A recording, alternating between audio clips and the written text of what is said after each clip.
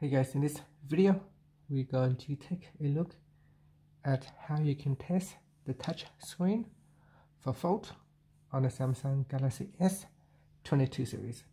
First, tap on the home button to go back to the home screen and from the home screen, swipe down at the top and tap on the settings icon.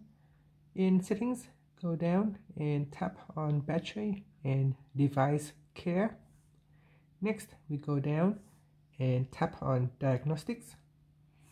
Next, in here, you want to swipe up and go down, then tap on touch screen.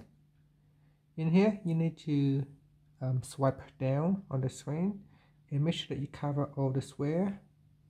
So this will allow you to check to make sure that all the area or the pixel are working uh, correctly so you can see here you can just simply swipe up and down uh, columns by column. And this will ensure that everything works correctly if for some reason the area uh, cannot be selected or highlighted then that means the area is faulty. And if everything is all covered it will show that the touch screen are normal and you have no issues at all. And that's it. You can always retry and retest your touch screen to make sure that it is working correctly and that's it that is how you can test the touch screen for fault on the Samsung Galaxy S22 series.